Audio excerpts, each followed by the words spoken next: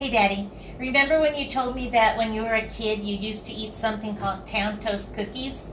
Yes. So I tried to make you some. Will you taste them? Mm.